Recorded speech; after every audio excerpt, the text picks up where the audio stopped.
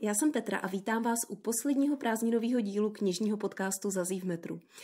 Dneska si dáme jeden audioknižní tip a v příštím díle bych pro vás mohla připravit nějaký souhrn mýho letního čtení, co všechno jsem během léta přečetla a jak se mi to líbilo nebo nelíbilo. Dneska mám ale pro vás jedno líbilo a je to audiokniha Zlodějka knih od australského spisovatele Markuse Zuseka.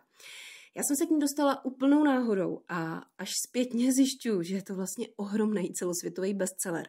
Kinama dokonce proletěl v roce 2013 film, natočený podle Zusekovy knihy eh, v německo-americké koprodukci, myslím.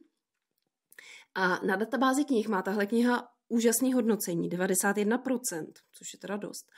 A na Goodreads asi 4,4 z 5. No a mě tenhle fenomén úplně dokonale minul. Já jsem nikdy neslyšela ani o knize, ani o filmu. A v loni na veletrhu Svět knihy jsem přišla na stánek Audiolibrixu a nesměle jsem se tam rozhlížela, co bych si tak asi pořídila. Všechno jsem v té době měla doposlechnutý, nic nového v Merku. A nějaká slečna mi tehdy na tom stánku řekla, tak zkuste zlodějku knih, ta se vám bude líbit. A já jsem se teda chvíli kroutila, protože jsem si podle názvu myslela, že to bude nějaká historická romantiárna. Ale sakra, v tomhle případě jsem se teda nemohla víc splíst, protože to bylo výborný. A ještě navíc eh, v tom audiu s Vilmou Cibulkovou, tak to byla naprostá paráda, co vám budu povídat. Takže zdravím tímto všechny v Audiolibrixu a děkuji vám za tenhle úžasný tip, protože pro mě to byla úplná střelba na slepo ale trefili jste se teda naprosto perfektně. Markus Zusek je australský spisovatel, pochází ze Sydney a dneska je mu asi 48 let.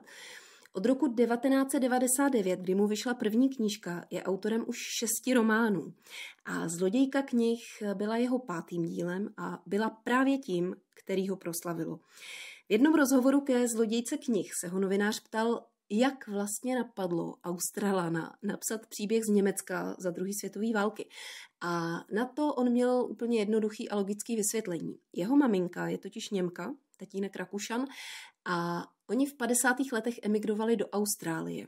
Druhou světovou válku zažili v Evropě a vyprávěli mu o ní a Marku se to natolik zasáhlo, že ho napadlo, že by to mohlo vydat zhruba na takovou 100 stránkovou novelku, řekněme. Bylo mu tehdy asi 25 let, když začal knihu psát. No a nakonec je z toho bestseller světového formátu, který má přes 500 stran.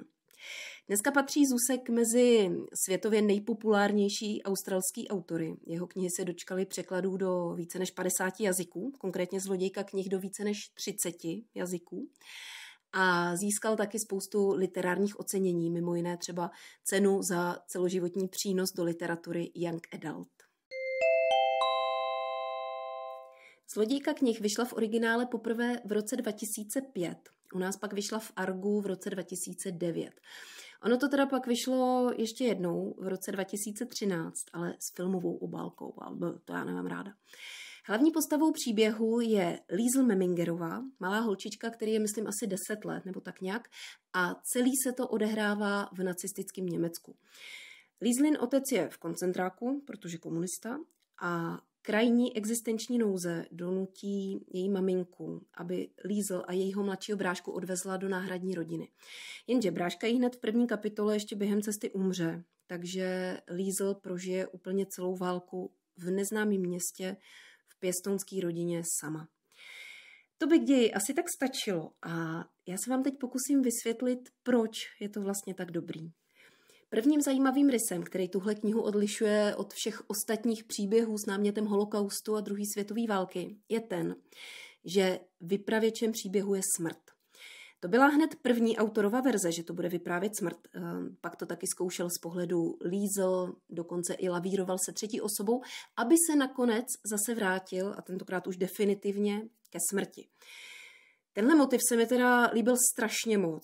Za války je smrt samozřejmě všudy přítomná, není to vůbec nic veselého a když autoři tyhle věci popisují, tak myslím, že můžou docela snadno sklouznout eh, k nějakému nežádoucímu a přehnanému patosu. Jenže, když vám smrtka řekne, že v tom válečném roce 1940, nebo nevím už kolik, měla mimořádně hodně práce, tak tím vlastně řekne úplně všechno, co potřebujete, ale zároveň vnáší do toho temného tématu určitou nadsázku, která tu situaci svým způsobem odlehčí, ale přitom vůbec nepůsobí nepatřičně.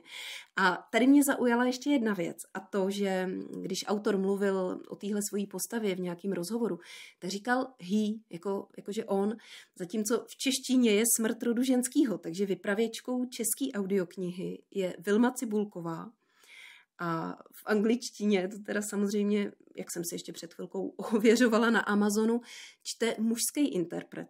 Tak to je jenom takový fun fact na okraj. Pak je to samozřejmě Zůsekův styl, co dělá tuhle tu knihu výjimečnou. A je to styl, který mě ohromil naprosto nečekanou dávkou poetiky. Abyste měli trochu jasnější představu, tak já vám pro ilustraci budu parafrázovat jednu pasáž, která mě usadila na zadek už v první kapitole. Jo? Tam ta smrt vypráví o jednom městečku, kde se po schození bomb zaticha snášejí z nebe vločky popela tak milounce, že jste byli v pokušení vypláznout jazyk a chytat je. Tak, a to je ono. Slyšíte to tam?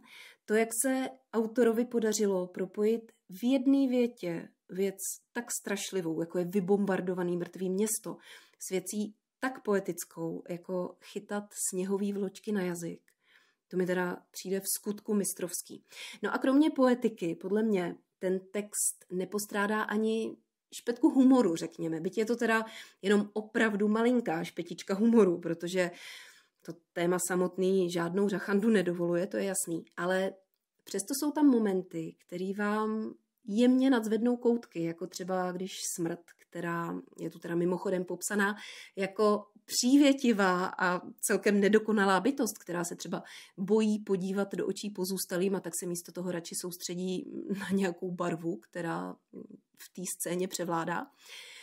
A když tahle smrt říká, jak mocí přítomnost zlodějky vyvádí z konceptu, a to až natolik, že se jí vůbec nedaří soustředit se na tu bílou barvu, tak to je prostě v dané situaci takový jemný humor, který jsem opravdu velmi ocenila. Tak a to jsou podle mě tři základní rysy, kterýma zlodějka knih vyniká nad eh, všechnu tu ostatní válečnou beletrii.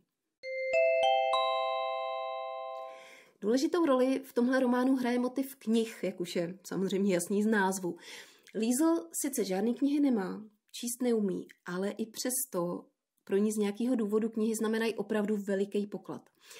Svoji první knihu najde úplnou náhodou a vůbec jí nevadí, že je to zrovna příručka hrobníka, nebo jak se to jmenuje. Střeží tuhle tu útlou knížku jako svoji největší vzácnost a po nocích se z ní pomalinku naučí číst. Motiv čtení se v tom textu potom objevuje ještě moc krát, ať už v situaci, kdy Lízl předčítá sousedům v krytu během náletu, nebo když přečítá nemocnému židovi, který ho schovávají ve sklepě, nebo když jí tenhle ten žid jménem Max z vděčnosti za pomoc jednu takovou knížku napíše. A Tady je docela zajímavá souvislost s autorovým životem, protože jeho maminka prej vyrostla úplně bez knih. Já teda nevím přesně z jakých důvodů tohleto autor v rozhovoru neupřesnil. A když se potom v dospělosti přestěhovala do Austrálie, aniž by uměla slovo anglicky, tak se rozhodla, že svoje děti vychová jako sečtělí lidi a jako milovníky knížek. Takže Markus vyrůstal celý život obklopený knihama a opravdu hodně četl. I když teda takovým jiným způsobem, než si asi představíte. Místo toho, aby si dal třeba tři knížky za měsíc, tak si přečetl jednu knihu, která se mu líbila, ale za to třikrát. A to by možná mohla být docela zajímavá cesta pro nás všechny, co máme úplně celý byt zaskládaný knihama, jak hodně číst a přitom nesyslit nepřečtený knihy, že jo? Až teď, když jsem si připravovala nějaký podklady pro tenhle ten podcast, tak jsem zjistila, že v Austrálii původně Zlodějka knih vyšla jako titul pro dospělí. A až když se dostala do Spojených států, tak tam to už distribuce zařadila do kategorie Young Adult. Když se kouknete na Wikipedii, tak ta taky řadí Zlodějku knih do Young Adult. Audiolibrix taktéž. A mě to teda vlastně překvapilo. Já jsem nevěděla, že je to Young Adult literatura. A tahle ta skutečnost mě přivedla na myšlenku, že Kdybych to já četla jako náctiletá, tak bych byla z toho příběhu asi úplně rozdrcená. Asi dost podobně, jako jsem byla ze seriálu Vlak dětství a naděje, který jsem viděla právě v tomhle věku náct, nevím přesně kolik. A mám za to, že by to ve mně vyvolalo úplně stejné emoce. Oni totiž tyhle ty dva příběhy mají vlastně dost společných stěžejních rysů. Odehrávají se za druhý světové války. Hlavní postavou je malá holka, která má strašně hodného tatínka a nevlastní maminku, která je teda dost od rány, ale přitom ji vlastně miluje a ochraňuje. Pamatujete si Helenu Růžičkovou, ne? Jestli jste to viděli. A já jsem se teď na základě téhleté vzpomínky před chvilkou rozhodla, že si zlodějku knih koupím i v tištěné verzi a dám ji jednou přečíst svým dětem, až budou právě v té kategorii Young Adult čtenářů a budu doufat, že to pro ně bude stejně silný zážitek, jako pro mě byl kdysi vlak dětství a naděje. Jsem teda jenom trochu mrzutá, že ten titul momentálně není k sehnání, jenom použitý kusy a mně se teda podařilo najít na internetu jenom to vydání s hnusnou filmovou obálkou. Já bych teda byla mnohem radši, kdybych měla doma tu obálku z roku 2009, kde je místo obličeje herečky kresba, jak Lízel tančí se smrtkou. No ale tak co se dá dělat, objednávka už je na cestě a když se mi někdy v budoucnu podaří sehnat to starý vydání, tak to hold vyměním. No. Tak já už jsem tady několikrát zmínila tu audioverzi, která je podle mě mimořádně povedená, tak vám k ní řeknu ještě nějaký doplňující informace. Vyšla u One Hot Book v roce 2019, čte ji Vilma Cibulková, jak už jsem říkala, kterou já jsem se strašně zamilovala v audioknize Šikmý kostel. Jestli neznáte Šikmý kostel v audiu, tak si to určitě dejte. To je prostě paní herečka. No a její procítěná interpretace plus ten úžasný nakřápnutý hlas vám dohromady dá zhruba 16,5 hodiny naprosto skvělého poslechu. Takže já vám tuhle audioknihu opravdu vřele doporučuji. No a víte co? Já tady pro vás jednu mám, takže si dáme zase po dlouhé době soutěž. Napište mi na můj Instagram pod příspěvek z 28. srpna, který je věnovaný právě audioknize Zlodějka knih jestli se vám někdy stalo, že se vám takzvaně zasekla za nechty nějaká knížka, ať už pučená od známých, nebo třeba z knihovny, že jste ji prostě zapomněli, nebo nestihli, nebo nezvládli vrátit, a jaká knížka to byla. Soutěž potrvá dva týdny do 10. září a já potom hned v pondělí 11. vylosuju z vašich odpovědí jednoho z vás, kterýmu pošlu kód na stažení tyhletý audioknihy na Audiolibrixu. Jediný, co na to potřebujete, je stáhnout si apku právě Audiolibrixu, jinak na to nemusíte mít žádný předplatný ani členství a v klidu si tuhletu audioknihu poslechnete. Tak, to je všechno, co jsem vám chtěla dneska říct. Doufám, že jste měli krásný prázdniny. Mě teda strašně mrzí, že už končí. Já bych si to dala ještě jednou celý znova. Děkuji vám za pozornost a budu se na vás těšit u dalšího dílu. Mějte se krásně a hodně čtěte. Ahoj.